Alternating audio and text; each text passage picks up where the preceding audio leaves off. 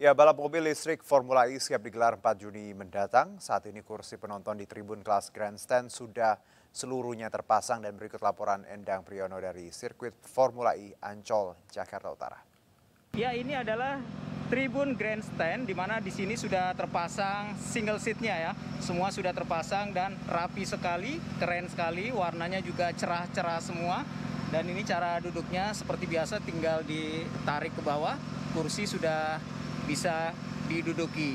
Dan untungnya kalau membeli tiket di grandstand ini kita mendapat selain kursi dan atap di atasnya juga tidak kehujanan juga mendapat view yang menarik karena depan ini adalah tikungan ke 18. Di sana ada tikungan ke 18 sedangkan di sana view-nya adalah stadion Stadion JIS Iya, pemirsa kalau saya coba duduk di tribun grandstand ini memang sangat mengasihkan sekali ya, tinggi sekali dan di depan sana terlihat jelas tikungan 18 keren sekali pemirsa. Jadi pilihan di sini murah meriah ya dengan harga 750.000 bisa menjangkau hampir banyak lintasan yang terlihat. Jadi bakal senang sekali kalau kita berada di sini menyaksikan Formula E nanti.